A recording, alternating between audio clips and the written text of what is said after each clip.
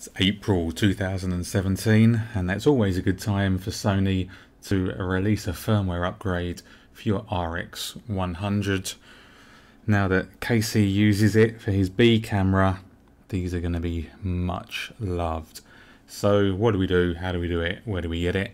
I'll leave the links in the description and let's see what this update does. It improves the operability with the MPK URX 100A underwater housing. It adds the all underwater auto feature in the white balance settings.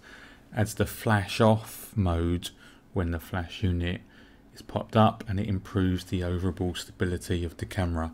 Now, normally when they say it improves the overall stability of the camera, they put all kinds of potions and lotions and voodoo magic in there that either does improve it or make things worse. So if you're going to be shooting a wedding tomorrow, probably best to wait until after an important event because it might well do bad things and that's never good the day before you're just about to do an amazing shoot. When you're doing the upgrade, use the supplied USB cable and don't rush. So leave the camera, let it do its thing, go and make a cup of tea let it go through the process. That way, you're not going to be switching it off when you think it's done and breaking your camera.